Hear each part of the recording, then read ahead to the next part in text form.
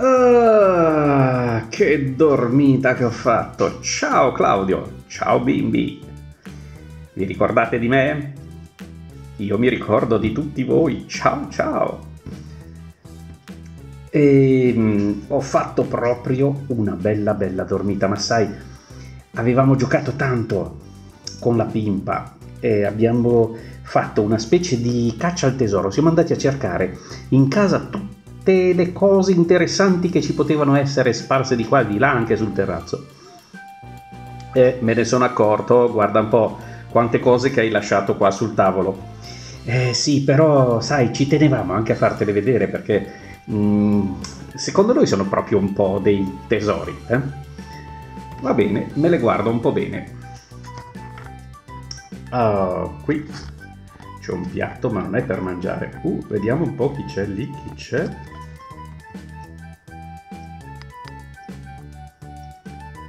Oh, due lumachine, delle foglie di insalata. Oh, avete ritrovato le mie biglie, ci giocavo da bambino. E poi mm, due sassolini. Mm, mi sembrano sassolini particolari. Poi vediamo un po' che cos'altro c'è qua.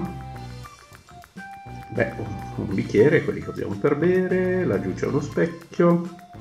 Beh, la sveglia l'abbiamo anche sentita prima. Eh? Ah, c'è il vasetto delle lenticchie che abbiamo seminato tre settimane fa. Mamma mia, come sono diventate grandi. E poi vediamo cosa abbiamo ancora qua sotto. Ah, i miei temperini, quello piccolo e quello grosso, il mio, il mio preferito, quello col serbatoio. E poi, ah, ah, c'è una bella bella bottiglia piena d'acqua.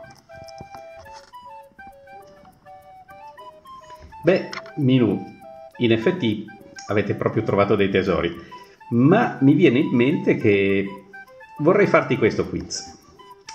Minu, tu sapresti dire chi sono gli esseri viventi? Perché su questo tavolo ci sono degli esseri viventi e dei non viventi.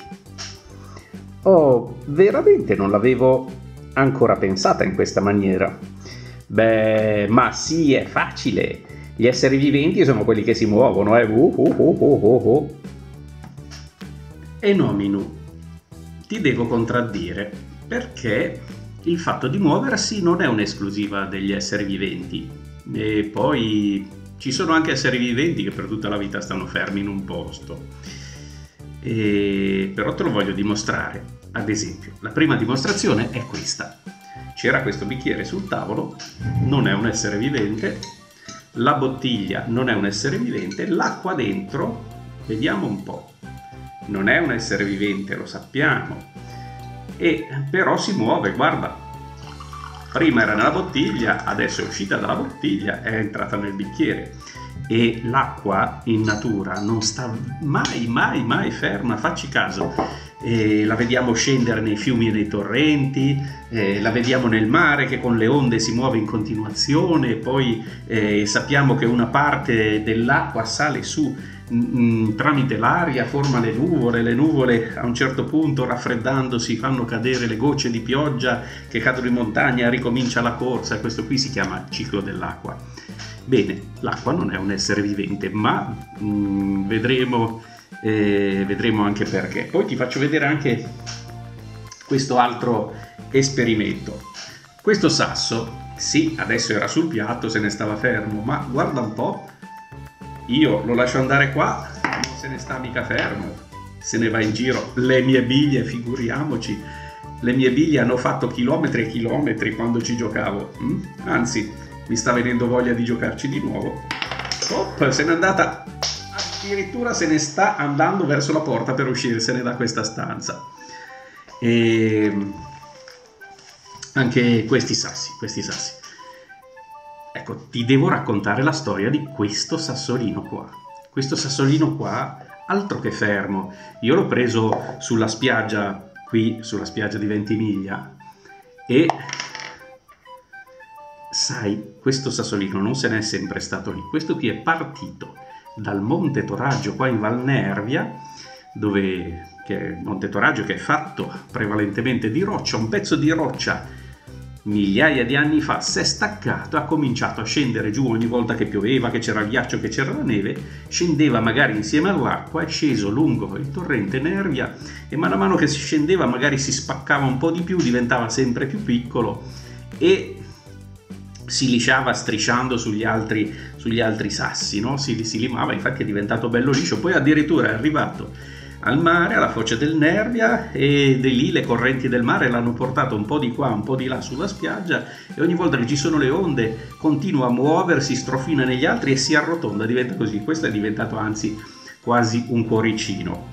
Questo sasso qui pensa un po' se si è mosso tanto, perché questo è un lapillo vulcanico, sono quegli schizzi di roccia fusa che gli, i vulcani sparano in alto per centinaia di metri, poi ricadono e la lava di cui sono fatti, che è roccia calda, talmente calda che si è sciolta, si fermano e formano queste rocce che sono eh, rocce vulcaniche. Immaginati un po' quanto movimento ha fatto. Ha volato, è sceso per terra, si è fuso, si è solidificato, si è messo a bollire.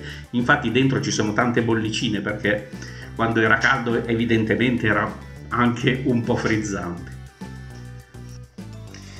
Sì, è vero, questa biglia non è un essere vivente, però ci posso giocare, si muove veramente, si muove. Ah, ah, ah, addirittura è andata dove non posso neanche andarla a prendere, bisognerà che faccia un'altra caccia al tesoro.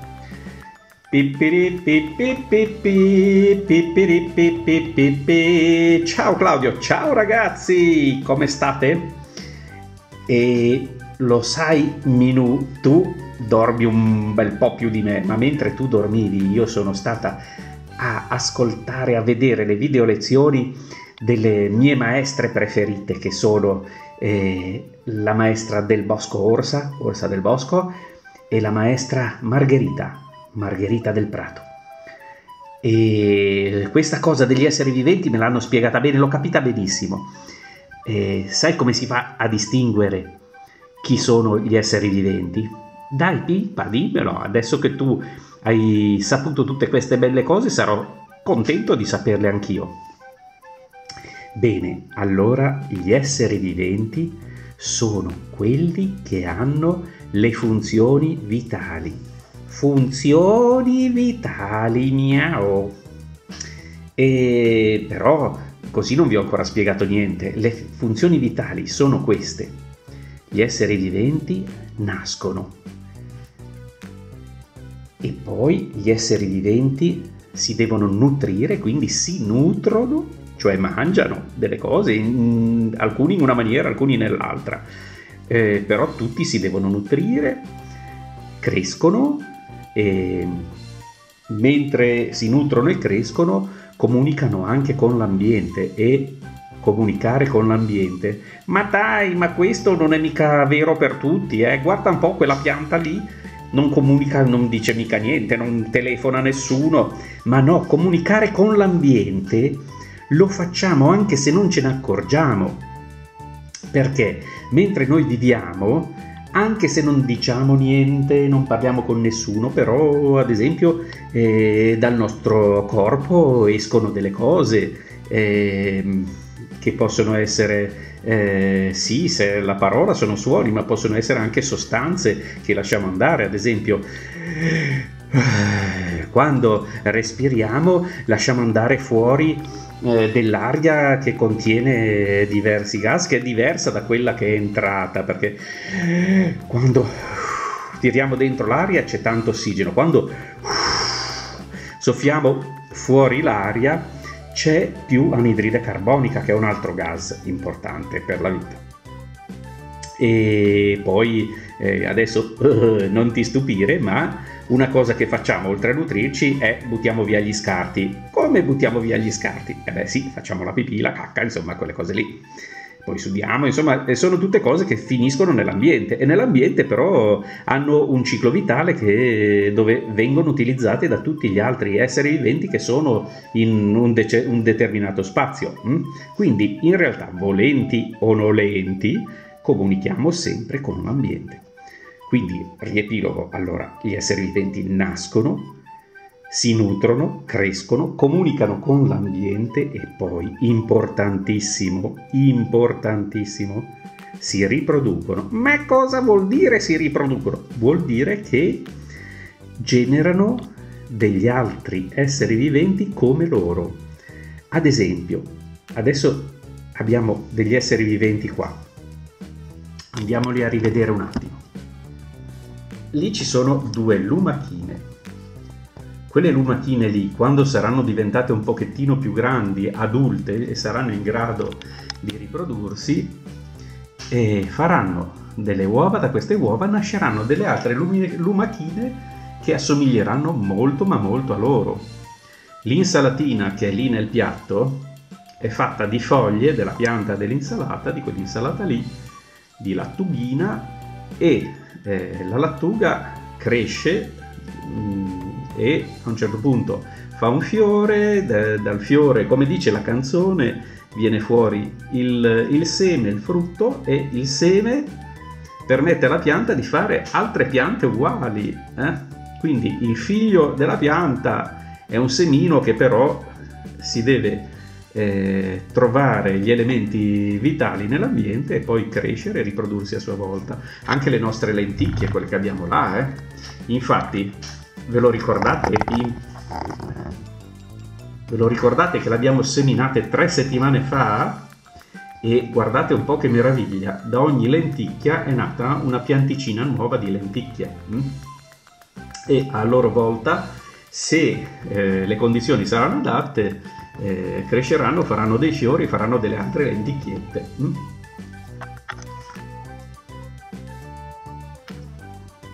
Dunque, ragazzi, ecco il ciclo vitale di un essere vivente è un ciclo di funzioni vitali.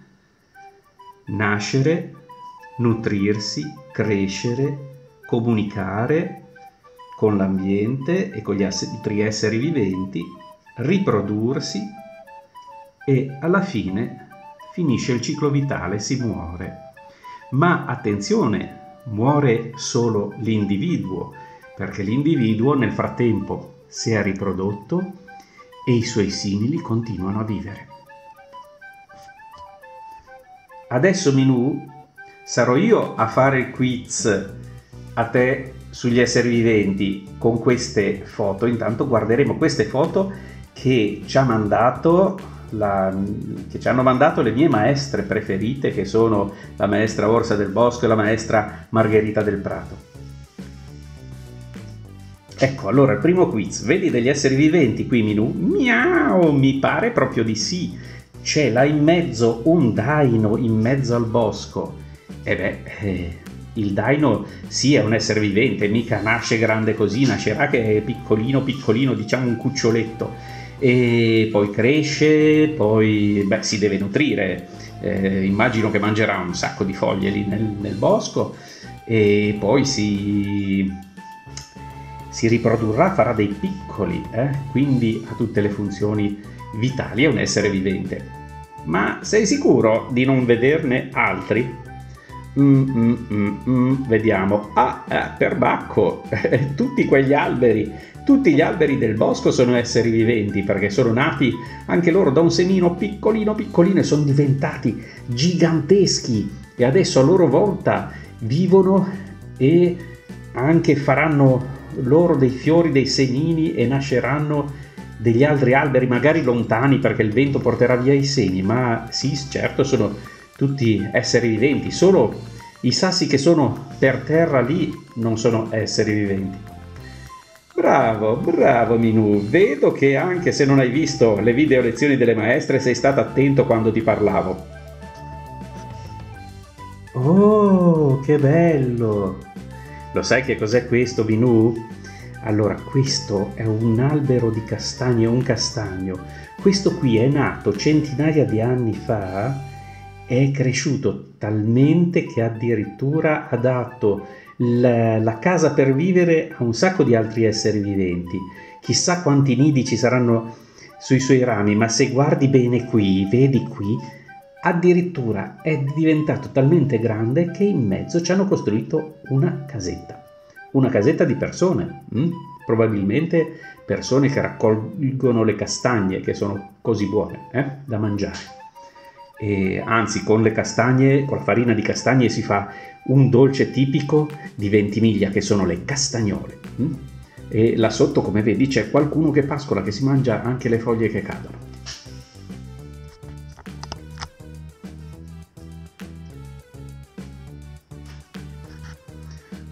Oh, che bel prato! Eh sì, come vedi c'è anche eh, là in fondo nel gruppo di amiche c'è anche la mia maestra Margherita del, del Prato, ma qui puoi vedere qui vicino che anche le margherite comunicano con l'ambiente. Vedi che c'è sopra un insetto, quell'insetto lì è proprio una coccinella che ci sei posata sopra perché evidentemente ha bisogno di, di essere in relazione con lei, eh? che è un essere vivente.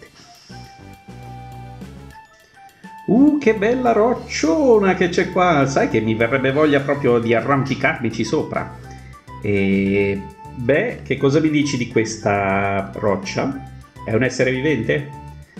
E dunque, pensiamoci un po'. Gli esseri viventi sono quelli che hanno le funzioni vitali. Mm, questa roccia è nata, ma chi lo sa? Eh, si è nutrita? Ma no, le rocce mica mangiano, e poi è cresciuta? No, mi sembra che se ne sia stata lì tutta al più, si, ogni tanto si spaccherà qualche pezzo. E poi mm, non si è riprodotta, no, no, no, perché eh, non è che questa rocciona si sposa con un'altra rocciona e poi fanno delle roccette piccoline, dei sassolini, mm, ecco. E poi eh, una roccia non muore, tutt'al più si trasforma. Mm? Bravo, bravo, vedo che eh, hai capito qual è il senso delle spiegazioni che ho fatto, anzi lo racconterò alle maestre che mi hanno fatto le video lezioni perché vuol dire che eh, le ho imparate bene io e che sono stata capace di spiegarle a te. E questo? Ma certo, questo è un essere vivente, guarda, sta proprio svolgendo una delle sue funzioni vitali sta mangiando, quindi si nutre. E però mi viene un dubbio, Pippa, ma le piante di lenticchie lì, ma si nutrono? Ah, sì, anche se noi non le vediamo mangiare, non è che gli possiamo dare un biscotto e loro se lo mangiano.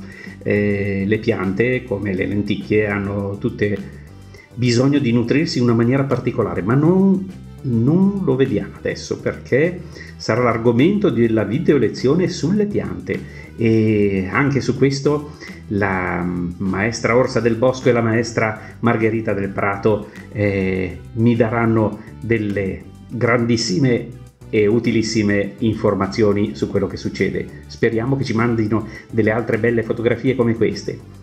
Eh, direi che possiamo salutare, ma facciamo un attimo un riepilogo diciamo bene cosa succede. Gli esseri viventi sono quelli che hanno le funzioni vitali, che sono nascere, nutrirsi, crescere, comunicare con l'ambiente, riprodursi, morire. Alla prossima video lezione. Ciao ciao, un bacio dalla pimpa, un bacio da Minù e anche un saluto dal maestro. Ciao ciao!